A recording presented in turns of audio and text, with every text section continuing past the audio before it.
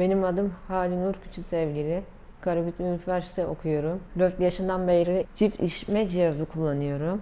10 yaşından beri badmintonla uğraşıyorum. Milli sporcuyum. İşitme cihazı kullanmadığı zaman da gerek okulda, evde ve sosyal hayatım olsa konuşmalara katılmak zor- zorlanıyorum. Telefonlar iletişim kuramıyorum. İşitme cihazlarım taktığım zaman gerek konuşmaları olsun, sosyal hayatımda olsun, insanlarla iletişim geçebiliyorum. Okulda arkadaşlarım iletişim çok rahat. Lisanları daha iyi ve net anlıyorum. İşitme cihazı sayesinde kaliteli bir hayat yaşıyorum. Helix işitme cihazlarına teşekkür ediyorum. Helix İşitme Merkezleri. İyi duymak hayata bağlar.